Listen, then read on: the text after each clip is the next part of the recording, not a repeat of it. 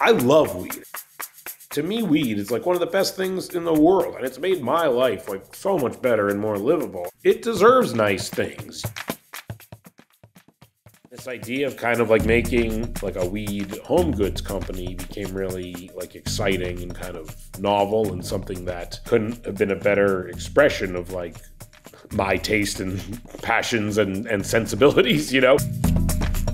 The fact that there's a desire to celebrate weed and display it with pride to me that's like a feeling that i have. I shouldn't have to like hide it under my coffee table. I should be able to display it proudly and i shouldn't be having to have this ashtray that i'm shoving in the drawer every time everyone comes over because i'm ashamed of it or because culturally it's not as accepted you know? But instead like why not have something that speaks to my taste and my passion and the things that i like doing with my time and my energy energy, you know?